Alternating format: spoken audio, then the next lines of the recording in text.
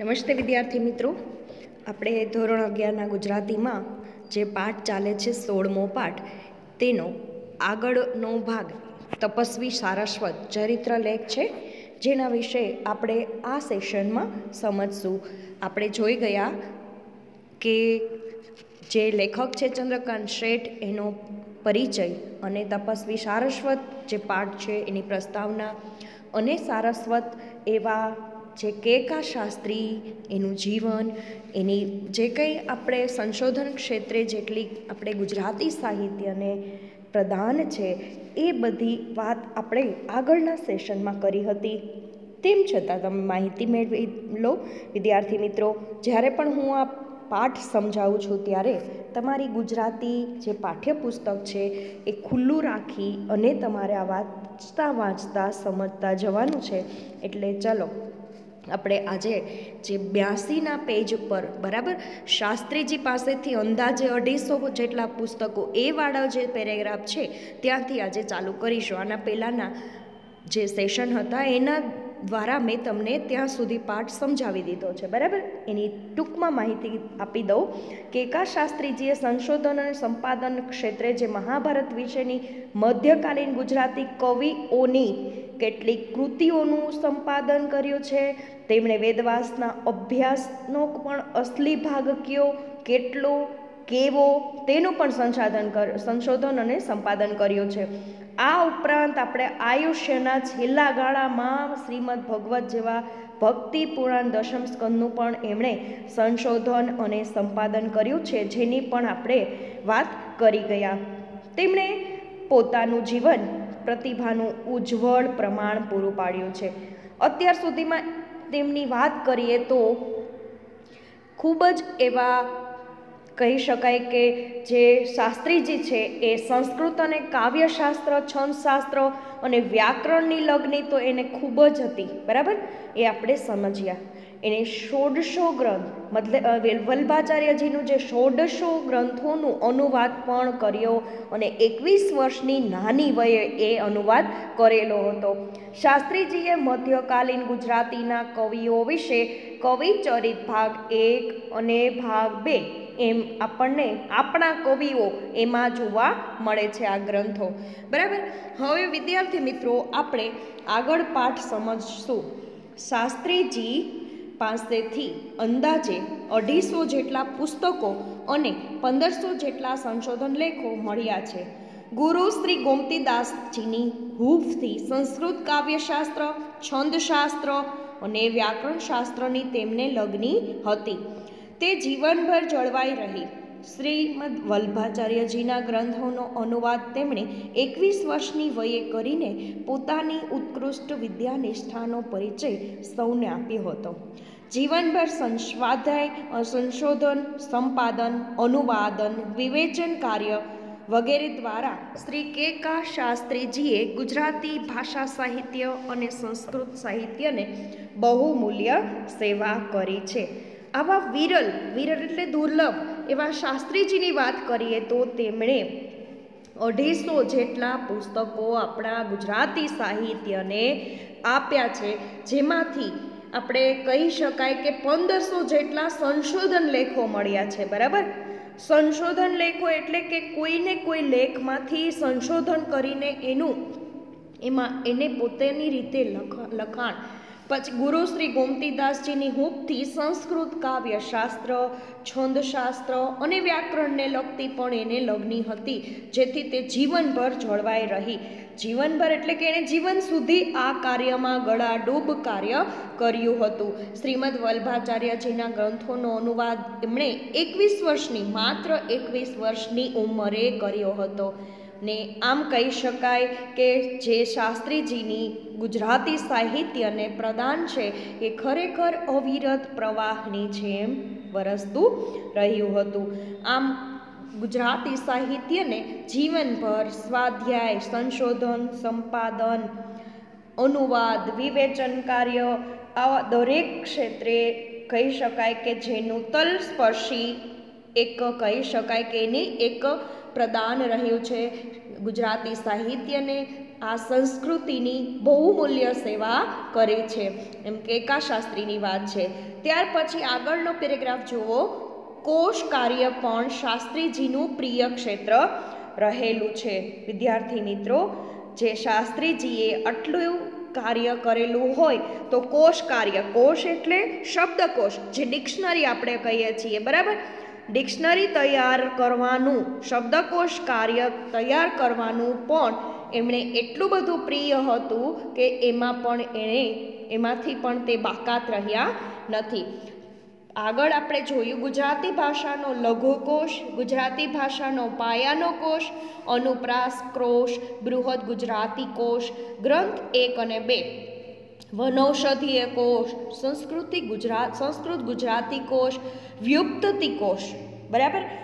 દરેકમાં જેમણે કામ કર્યું છે ગળાડૂબ એટલે અત્યંત વ્યસ્ત એવું કામ કર્યું છે, એવા આ શાસ્ત્રીજી ભગવદ્ ગૌમંડળના નવસો જેટલા અધિકરણનું વાંચન કરીને પ્રમાણિત કરવા આ બધા કામો ઉદાહરણ સ્વરૂપ છે. જો વિદ્યાર્થી મિત્રો આપણે આમાં જોઈ લઈએ કે કયા કયા કોષની વાત છે, તો ગુજરાતી ભાષાનો લઘુ કોષ. પહેલાં તો એણે ડિક્શનરીનું કાર્ય કર્યું, પછી એણે શું કર્યું? ગુજરાતી ભાષાનો પાયાનો કોષ. જેમાં આપણે કહી શકાય કે અર્વાચીન ગુજરાતીમાં જે લેખકોએ કાર્ય કર્યું છે, એ ભાષાથી લઈને એમણે એનો એ કોષ, એટલે કે જે આપણે કહી શકાય કે એમાંથી દરેક વસ્તુ આપણને મળી રહે. અનુપ્રાસ ક્રોશ એટલે અહીંયા આગળ લેખકે જેવી રીતે શબ્દકોશ તૈયાર કર્યા છે એવી રીતે અનુપ્રાસ ક્રોશ બૃહદ ગુજરાતી ક્રોશ. બરાબર? અને વનૌષધીય કોષ વનૌષધીય કોષ એટલે વનોમાંથી મળતી ઔષધિઓના નામોની યાદી. આવી એક ડિક્શનરી તૈયાર કરવી, જે આપણને વનમાંથી, વન એટલે જંગલ, જંગલમાંથી જેટલી પણ ઔષધીય મળે છે જેમ કે લીમડો હોય, પછી આપણે આંબળા હોય, હેડો હોય, બાવળ હોય, તો બધામાંથી આપણને જે આ વનમાંથી જે ઔષધીય પ્રાપ્ત થાય છે, એના નામોની પણ યાદી તૈયાર કરવાનું કામ શ્રી ક્રેકા શાસ્ત્રીજીએ કરેલું છે. આગળ આપણને જણાવ્યું છે કે વ્યુપ્તતિ કોષ, સંસ્કૃત ગુજરાતી કોષ અને વ્યુપ્તતિ કોષ. વ્યુપ્તતિ એટલે શું થાય?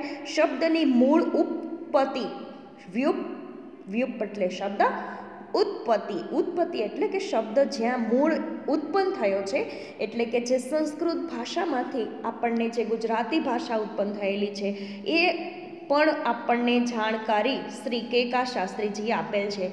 ભગવત ગૌમંડળના નવસો જેટલા અધિકરણોનું વચન વાંચન કરીને પ્રામાણિક કરવા બધા કામો તેના ઉદાહરણ સ્વરૂપ છે. તો આપણને અહીંયા ખ્યાલ આવે કે કેકા શાસ્ત્રીએ કેટલું કાર્ય કર્યું છે એની વાત કરી છે. આવા વિદ્વાનની પાછળ પાછળ સન્માનો આવે તે સહજ છે. આટલું કાર્ય કર્યા પછી એમને સન્માનો તો મળ્યા જ હોય.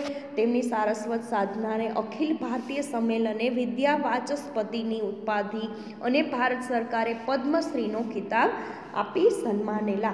તો ગુજરાતી સાહિત્ય સભાએ રણજીતરામ સુવર્ણચંદ્રક ઓગણીસો બાવનમાં અને સૌરાષ્ટ્ર યુનિવર્સિટીએ ડી લિટ નામની પદવી પ્રાપ્ત એને કરેલી અને એને આપીને પોંખેલા પોંખેલા એટલે એને પ્રમાણિત, એને માન્યતા આપી અને એને વધાવેલા. આમ જોઈએ તો પંદર પદવીઓ દેશ દસ જેટલા એવોર્ડ અને આડત્રીસ જેટલા માનપત્રો એમને પ્રાપ્ત કરેલા.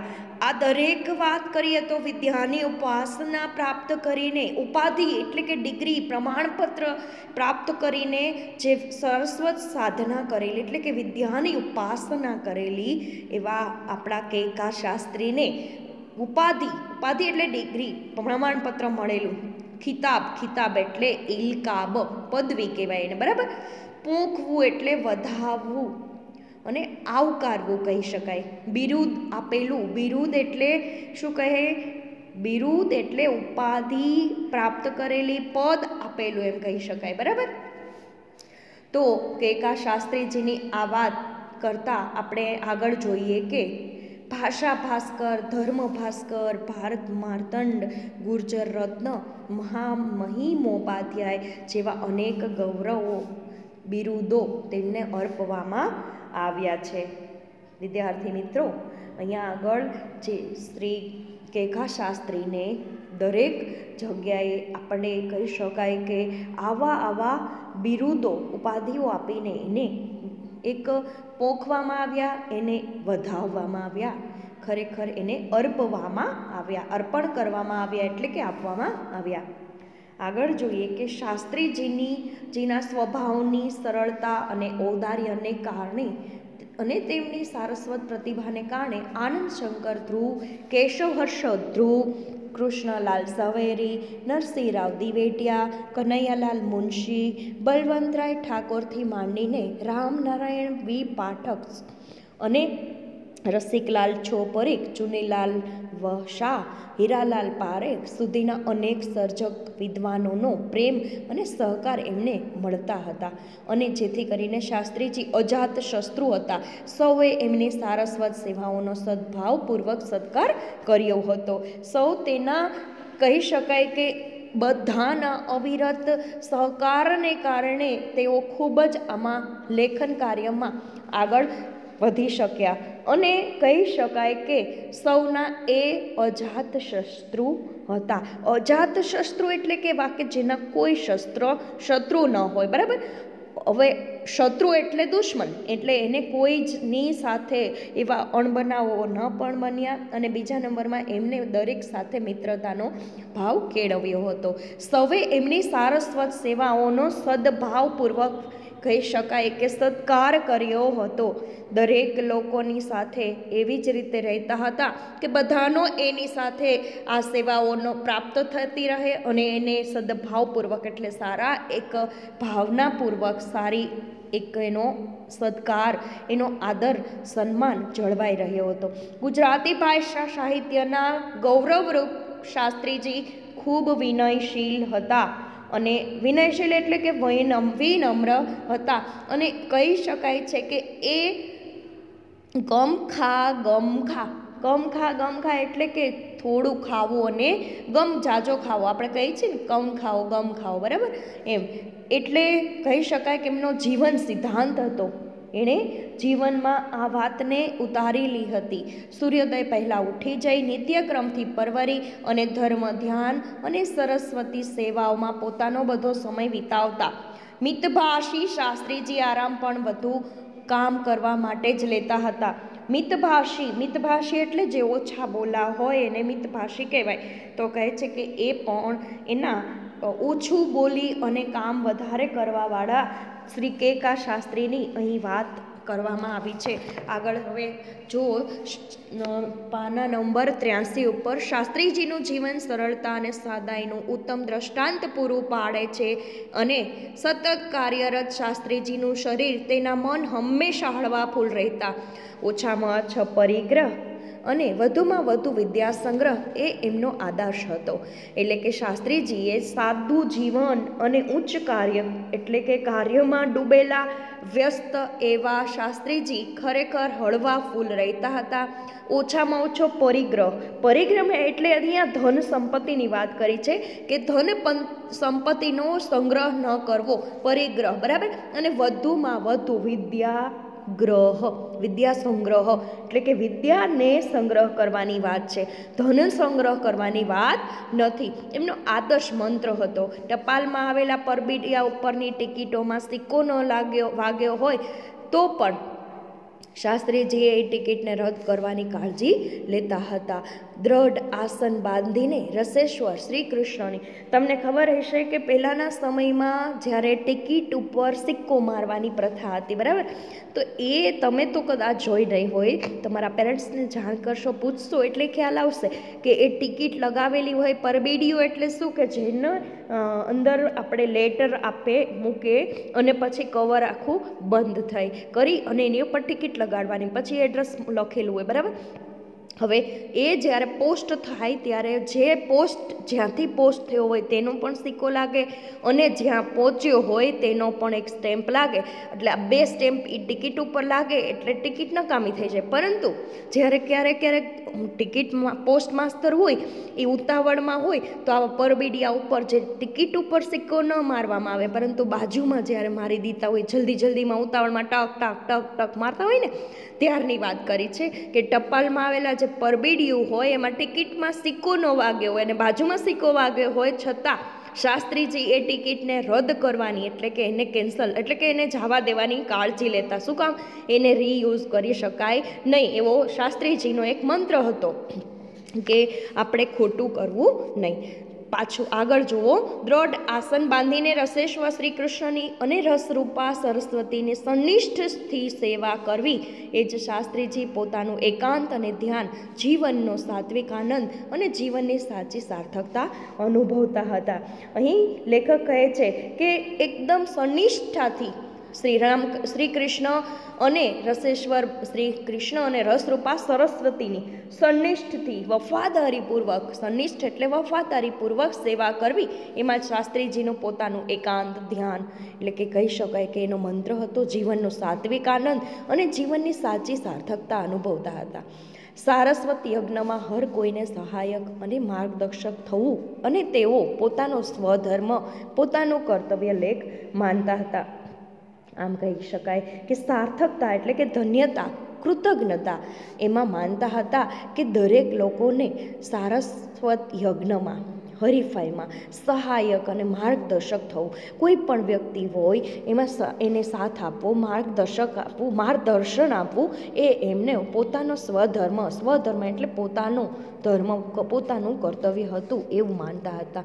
આવા શીલ અને તપના સનિષ્ઠ ઉપાસક શાસ્ત્રીજીનું નવ સપ્ટેમ્બર બે હજાર છના રોજ અમદાવાદમાં ટૂંકી માંદગીનું માં પછી અવસાન થયું. સારસ્વત સેવાના સાચા ભેખધારી ગુજરાતના આ વૈષ્ણવ વિદ્વાનને તો વંદના જ હોય. વંદન જ હોય, બરાબર ને? તો અહીં કહેવાય છે કે આવા શીલ શીલ એટલે ચારિત્ર, તપના સન્નિષ્ઠ એટલે કહી શકાય કે તપના તપ એટલે જે એનું સાહિત્યની સંશોધનની જે વાત હતી એ તપની વાત છે. સન્નિષ્ઠ એટલે કે એકદમ વફાદારીપૂર્વક શાસ્ત્રીજીએ પોતાના જીવનની જે સોળ હોય એ નવ સપ્ટેમ્બર બે હજાર છના રોજ અમદાવાદમાં ટૂંકી માંદગીમાં એનું અવસાન થયું હતું અને પોતાનું જીવન સંકેલી લીધું હતું. સારસ્વત સેવાના સાચા ભેખધારી એવા, ભેખધારી એટલે ભેખ લેનાર, જે સમર્પિત પોતાનું જીવન આ ગુજરાત સાહિત્ય અને ગુજરાતી સાહિત્યને અર્પણ કર્યું એવા ભેખધારી. ગુજરાતના આ વૈષ્ણવ વિદ્વાનને તો વંદન જ હોય. આ વૈષ્ણવ વિદ્વાન મોટા જે આપણે કહી શકાય એવા સંશોધક કાર્યશાસ્ત્રીજીને ખરેખર એને આપણા વંદન હોય. આપણે અહીંયા આગળ આ પાઠ પૂર્ણ કરીએ છીએ. શ્રી કેકા શાસ્ત્રીજીએ જે વાત કરી છે, શ્રી કેકા શાસ્ત્રીની આખી જિંદગી શ્રી કેકા શાસ્ત્રીએ સ્વાધ્યાય સંશોધન, સંપાદન, અનુવાદન, વિવેચન ઇત્યાદિ વિવિધ પ્રવૃત્તિઓમાં વિતાવી અને તેમના ગ્રંથોનો ઇતિહાસ તપાસતા કહી શકાય કે શ્રી કેકા શાસ્ત્રીજીએ સંશોધક, સંપાદક તરીકે ગુજરાતી સાહિત્ય અને સંસ્કૃતિને બહુ મૂલ્ય સેવા કરી છે. આમ શ્રી કેકા શાસ્ત્રીજીનો આ જે તપસ્વી સારસ્વત ચરિત્ર લેખ છે. અહીંયા પૂર્ણ કરીએ છીએ. તો વિદ્યાર્થી મિત્રો, જ્યારે પણ તમને આ સ્વાધ્યાયમાં પ્રશ્નના જવાબ આપું, ત્યારે તમે આ વીડિયો, ઓડિયો દ્વારા તેમજ વાંચીને તમારા બધા જ પ્રશ્ન જવાબ લખી લેજો. બરાબર? એટલે આપણે જે બધા જ્યારે કંઈ પણ જરૂર પડે. ભલે આપણે આપણા આ લેખમાં નથી. આપણે આ વખતનો જે કોર્સ છે, એમાં ત્રીસ ટકા કોર્સ જે કટ ઓફ છે, કટ કટ કર્યો છે ગુજરાત સરકારે, એ કટમાં જ આપણા ત્રીસ ટકા કોર્સ જે કટ કર્યો છે એમાં પાઠ આવી ગયો છે. પરંતુ આપણે લખવું એ આપણું એક કાર્ય છે. અને આપણે આ પૂર્ણ સાહિત્યનો, આપણે જે ગુજરાતી બુટ પાઠ્યપુસ્તક છે એનો પૂર્ણ સાહિત્યનો અભ્યાસક્રમ છે એ આપણે ભણવામાં લેશું. જેથી કરીને તમને આ એક મહાવરો રહે, તમને એમાંથી ઘણું બધું શીખવા પણ મળે. એટલા માટે આપણે આ પાઠ સમજાવેલો છે. બરાબર? અને એના સ્વાધ્યાયના પ્રશ્નોના જવાબ પણ લખીશું. Okay, thank you.